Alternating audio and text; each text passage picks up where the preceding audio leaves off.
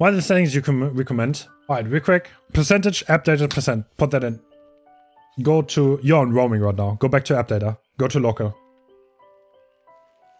Go to Dead by Daylight. Go to saved. Config. Windows no editor. Game user settings.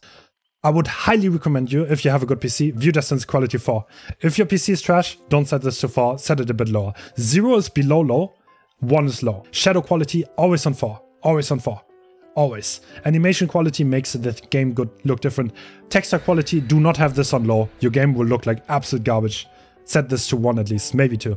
And those give you better FPS. I would set those to 0. How to unlock FPS? Uh, frame rate limit. You need to put. Uh, you need to put. Where is it? Where is it? Where is it?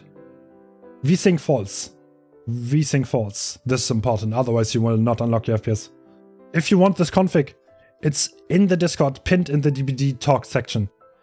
But don't just straight copy it. Look at what I do, and then like see what you want to implement into yours. If you want to disable anti-aliasing, you will have to do it in the engine file. No anti-aliasing will make the game a lot less blurry and will help a little bit with FPS. You will need to write our default feature .anti-aliasing equals zero into the engine file. And after that, whatever you have in your game user settings won't matter anymore. I actually have anti-aliasing disabled. After you're done editing both, you should make sure that you set the files to read only so the game doesn't edit it for you.